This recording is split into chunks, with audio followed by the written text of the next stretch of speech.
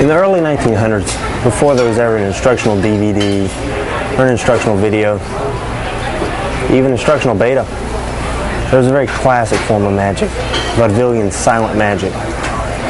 And this is my tribute, my homage, if you will, to that simpler time.